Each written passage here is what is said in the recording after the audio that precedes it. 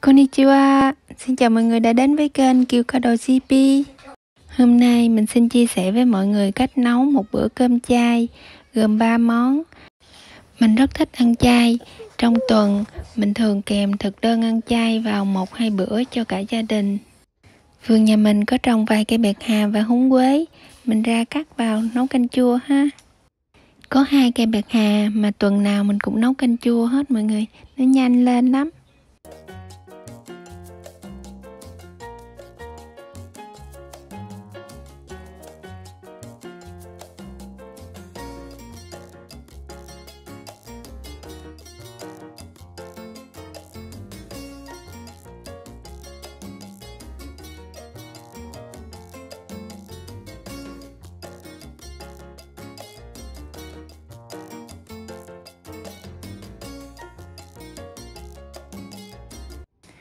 Ra húng quế mình cũng trồng được mấy cây và cũng có ăn lai rai ha.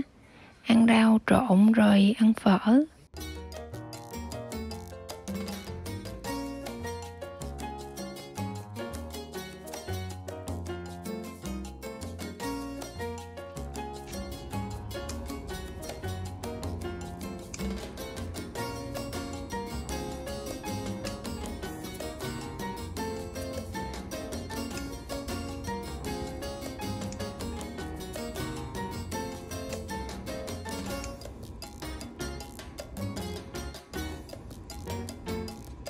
Hái vài cọng đủ để nấu canh thôi.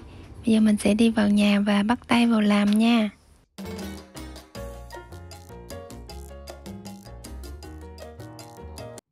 Bạc hà mình sẽ cắt bỏ lá, rồi tước cái lớp màu xanh của nó ra ha.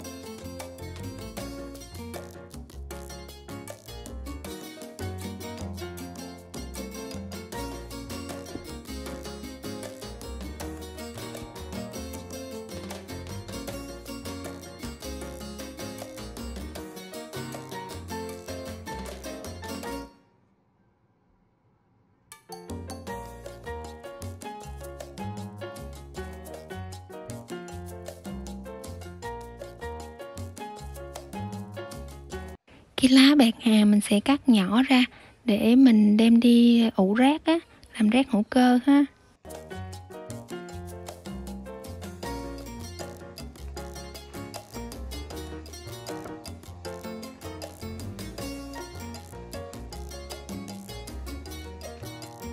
Rồi rửa từng cọng, rửa ở trong cái khoảnh giữa chỗ này nè. Nó hay dính đất dính cát ở trong đây nè, rửa cho sạch từng cây ha.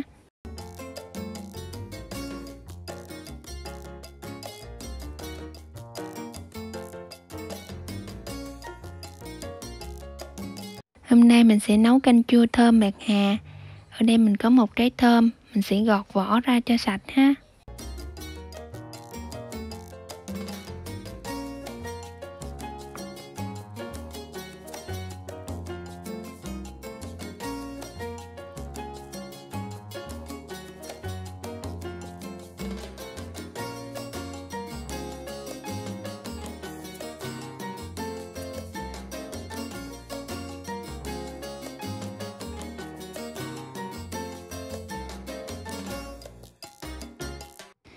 Thơm này, cái loại nhỏ nên là nó cũng ít có mắt lắm.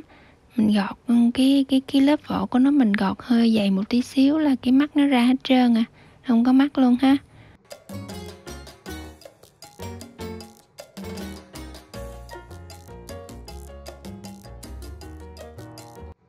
Cắt thơm ra làm tư, rồi cắt bỏ cùi của thơm đi. Cái cùi cứng lắm, không có ăn, không ăn được đâu, cho nên là mình cắt bỏ đi ha.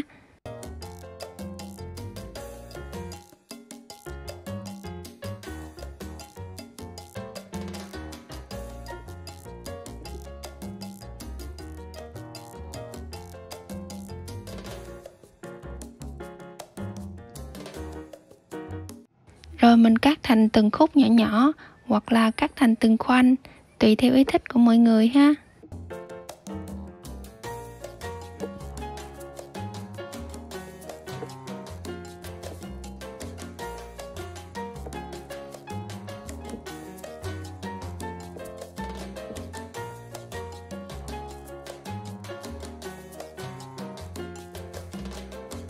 Bạc hà thì mình để nghiêng và cắt thành từng khúc xéo xéo như thế này.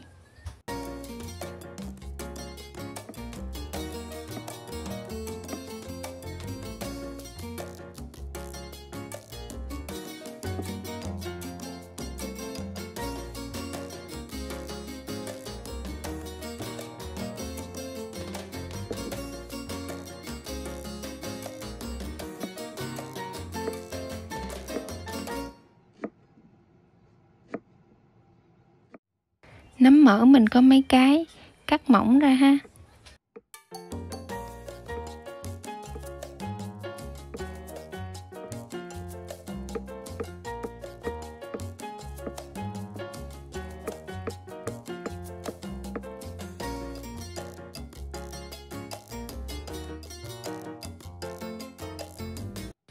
Nấm ngọc châm mình có nửa khóm, mình cắt cái um, góc bỏ đi ha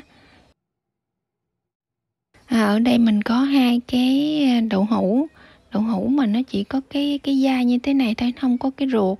Nó người ta gọi là cái age cái cái cái miếng đậu hũ nhưng mà nó chỉ có cái cái da chi như vậy thôi. Mình cắt nó ra cắt thành từng sợi nhỏ nhỏ ra ha.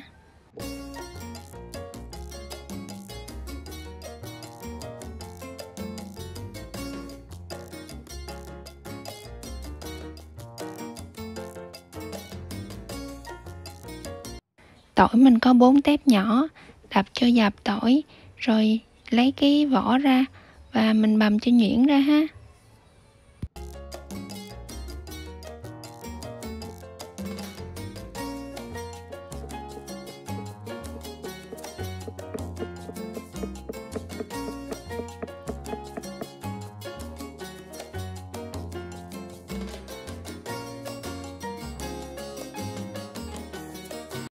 Thứ đã chuẩn bị xong rồi ha.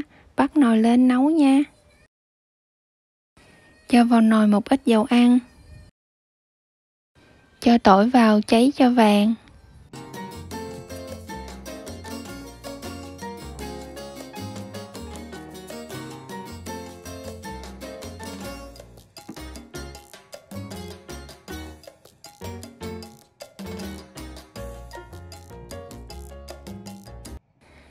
Giờ tỏi đã ngả màu vàng rồi, mình vớt ra nha, vớt tỏi ra.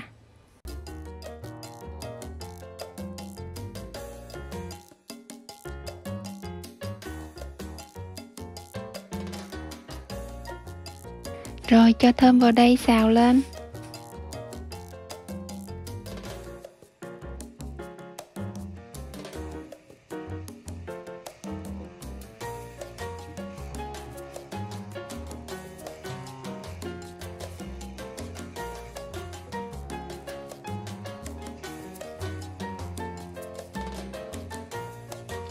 Nêm nếm ở đây luôn ha. Cho vào đây một ít tiêu xay.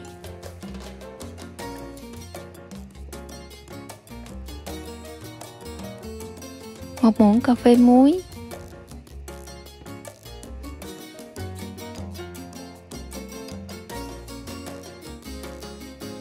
Ba muỗng cà phê đường.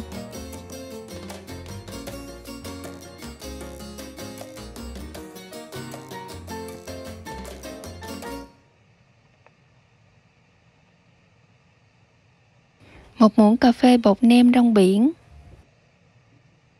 Rồi mình trộn đều lên. Rồi mình sẽ để ở đây cho tôm ra chất ngọt, chất chua. Vỏ đậu hũ chiên mình sẽ cho vào nồi chiên không dầu để chiên cho nó giòn lên ha.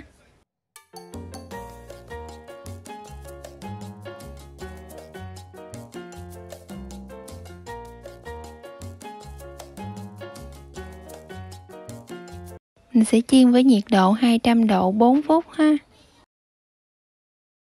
Thơm của mình bây giờ nó đã hơi trong một tí rồi, mình sẽ cho nấm vào.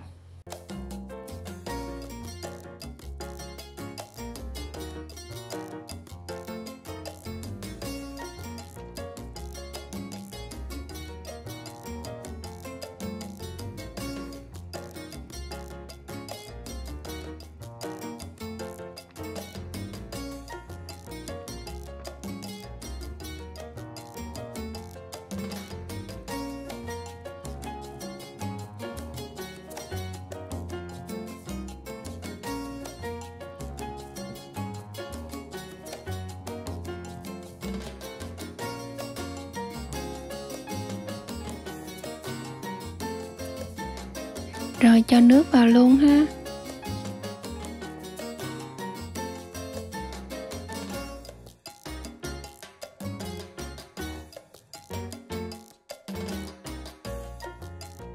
Đậu hũ của mình đã chiên được 4 phút rồi nè.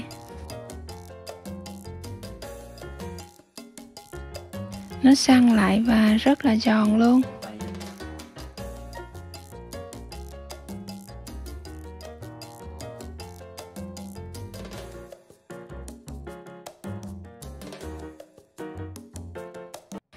Chua mình sẽ cho vào cuối cùng. Bây giờ mình sẽ cắt ra. Trái cà chua của mình hơi nhỏ nên mình sẽ cắt ra làm 6 còn nếu mọi người có cà chua to hơn thì mình cắt làm 8 ra ha.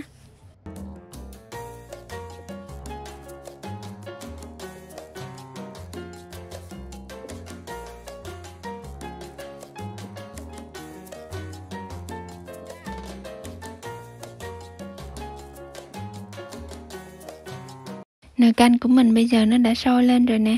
Mình vớt bọt bỏ nha. Vớt bọt bỏ để cho cái nước dùng của mình được trong.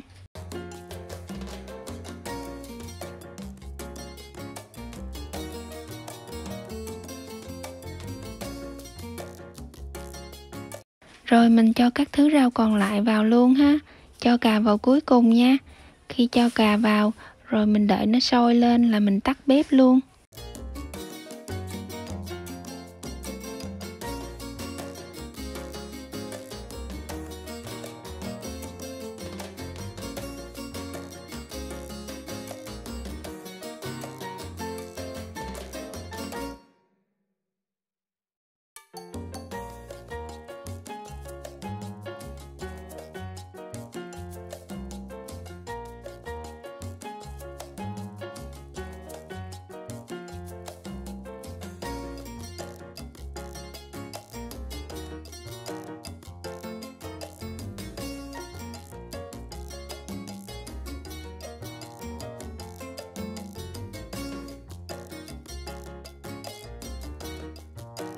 Trong khi chờ nước sôi lên thì mình sẽ nêm nếm lại cho vừa khẩu vị của gia đình mọi người ăn nha.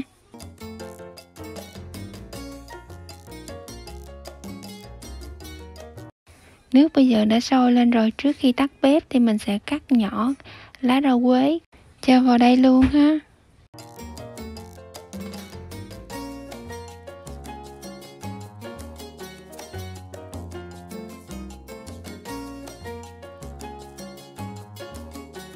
Thêm một ít tỏi phi.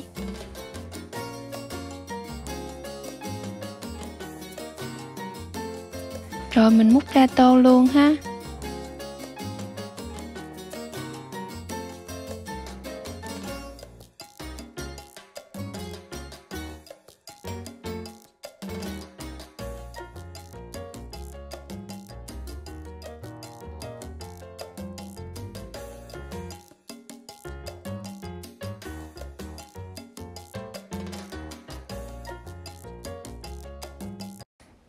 Như vậy là xong món canh chua rồi, mình sẽ qua làm món đậu hũ chiên muối xả ha.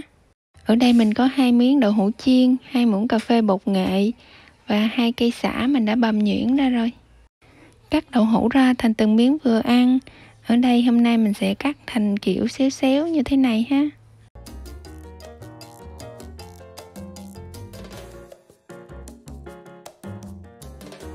Rồi khứa ở trên miếng đậu hũ vài đường ha.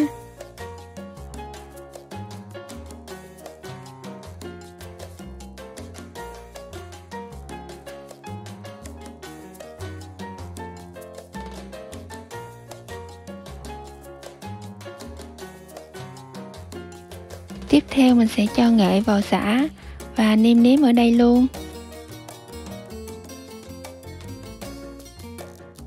Cho vào đây một muỗng cà phê muối.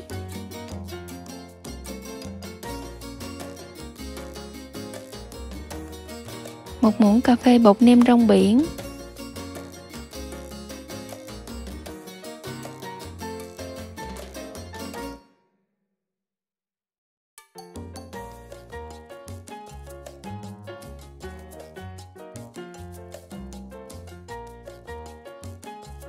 Trộn đều lên.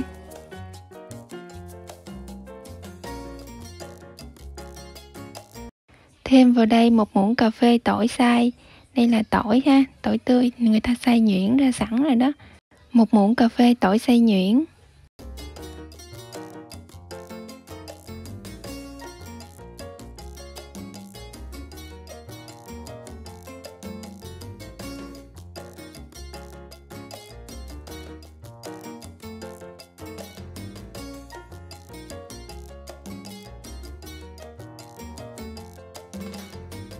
Mình sẽ thoa đều hỗn hợp muối xả lên đậu hũ ha.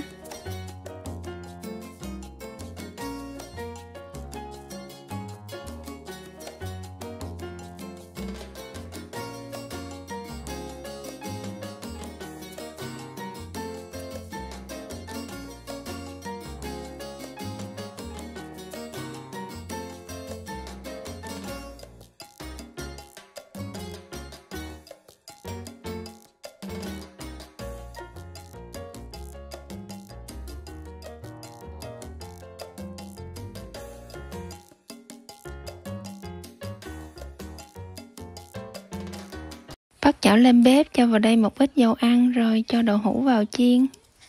Chiên đậu hũ trở đều các mặt cho vàng đều hết nha mọi người. Hôm qua mình được bạn cho một trái bầu, giờ mình sẽ cắt ra làm ba. Trái bầu to quá, mình chỉ ăn một ngày mình ăn chắc cỡ một phần ba thôi. Nên là mình cắt lấy một phần ba rồi mình gọt vỏ, cắt ra ha.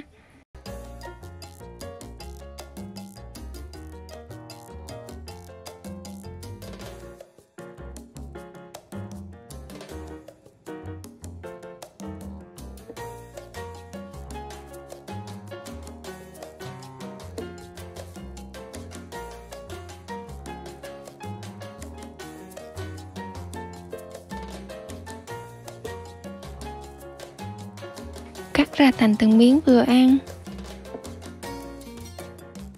Rồi, thay vì mình đem luộc thì mình sẽ cho vào cái khuôn này. Cái khuôn này là, cái hộp này là hộp silicon mình sẽ cho vào đây, rồi cho vào lò vi sóng, quay 2 phút. Các món rau luộc thì mình thường làm như thế này. Rau không, sẽ không bị mất vitamin ha. Và cuối cùng mình sẽ pha nước chấm là chao. Pha nước chấm chao này thì cũng tùy theo khẩu vị của mọi người ha.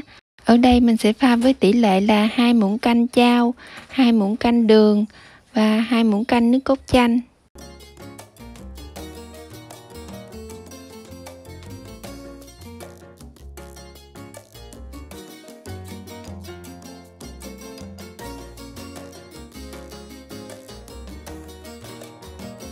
Mình vừa hoàn thành xong bữa cơm chay thanh đạm Clip của mình xin được tạm dừng tại đây.